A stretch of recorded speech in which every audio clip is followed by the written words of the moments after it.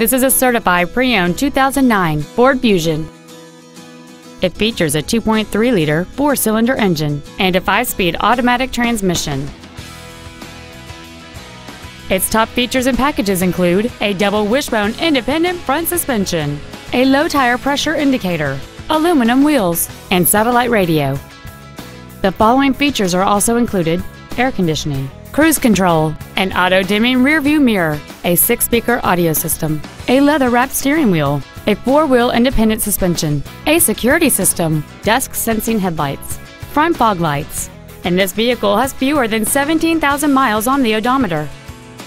With an EPA estimated rating of 28 miles per gallon on the highway, this automobile does not compromise its fuel efficiency for size, comfort, or fun.